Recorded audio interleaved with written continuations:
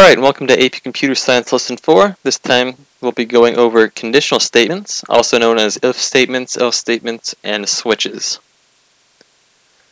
So very often when you write code, you want to perform different actions for different decisions. You can use this condition you can use conditional statements in your code to do just that.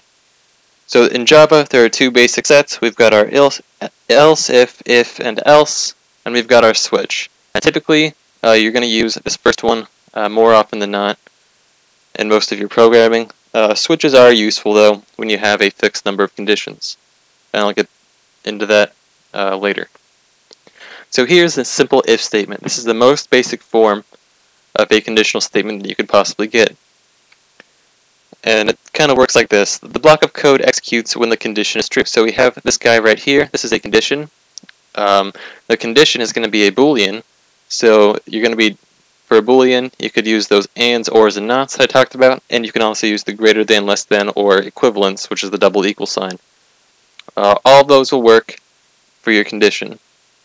And let's say your condition is true, then this block of code right here uh, will start to execute.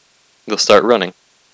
Uh, but let's say your condition is false, it's going to skip over everything in these, bra in these uh, braces right here, in these curly braces. So uh, this is a very useful tool and you'll be using it a lot. And I can guarantee you, you'll be using them on the AP test. So let's say you want to check for more conditions. Uh, you would simply use an else if statement. So it, it follows a similar syntax. Uh, you check for condition 1, and if it's true, uh, the block underneath it will begin to execute. Um, but let's say it's false and condition 2 is true, well, condition the block of code under condition 2 will start to run, and it'll skip over condition 1. Now here's the else statement, which is kind of um, the final part of this. So when all the previous conditions are false, the code in the else block will run. So let's say this condition right here uh, is false.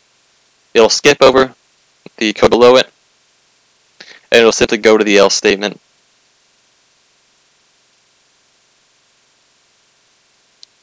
Else, else statements can also be used with the else if and if statements.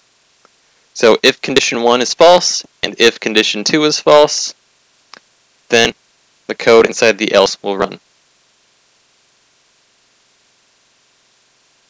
So now we're moving on to the switch statements. And you use the switch statements to select one of many blocks of code to be executed. So we have our expression here inside the switch statement that we pass in and this is typically going to be a variable, and we're going to check to see if whatever this guy is, whatever is out in front of our cases, matches what's in the expression. So let's say the expression matches A, then the code block underneath A between the semicolon and the break will execute. Let's say that expression matches B, well the code block between B and break will execute as well. And let's say that neither case uh, matches up with the expression, it'll simply just jump to the default.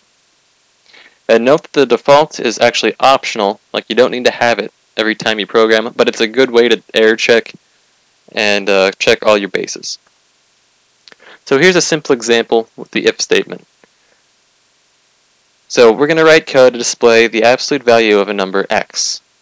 So here we have our first if statement. We're checking to see if x is less than 0, and if it is, then we simply multiply by negative 1 to get the positive version of it, and then we print it out on the screen using our println function. This is the most basic way to print stuff onto the screen. Uh, you gotta know this for the AP test and just for coding in general. And when I mean screen, it'll be the command prompt window. So moving on to the else, let's say that x is greater than or equal to 0, then we'll simply just print out whatever x is. So now we're going to do a quick example with the switch. So here, uh, write code to check if a number x is even. So we're going to use the modulus function that we learned in lesson 2, right here. And we're going to find x mod 2. Now when you take the modulus of 2, this is essentially checking if a number is even or odd. If a number is odd, when you divide it by 2, you'll always have a remainder of 1. And conversely, if it if x is um, even, then when you divide by 2, you'll always have remainder 0. So let's say x is 4.